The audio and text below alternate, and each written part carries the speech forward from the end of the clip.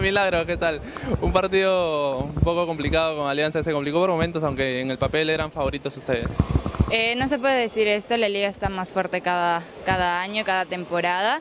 Eh, nunca hemos venido a subestimar a ningún equipo y a trabajar duro, si bien es cierto todavía tenemos muchas complicaciones, muchos errores, empezando por la actitud, pero hemos sabido sacar, sacar ese partido adelante.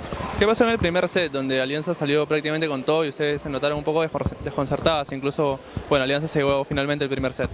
Yo creo que los nervios de cada partido... Eh, eh, no sabíamos controlar las cosas, no hemos sabido empezar como equipo, creo que el individualismo aún se nota, pero poco a poco estamos trabajando porque sabemos que cada vez más se va a venir más complicado.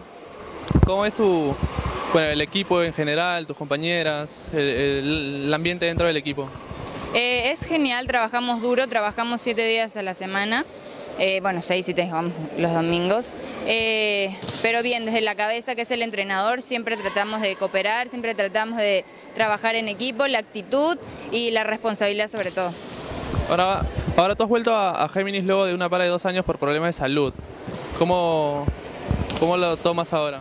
Eh, la verdad sí ha sido complicado, he parado 11 meses, llevo recién un mes saltando, pero por el equipo, por mí, tengo que esforzarme el doble y lo manejo ¿no? a la par mi salud y, el, y el Géminis, el vóley.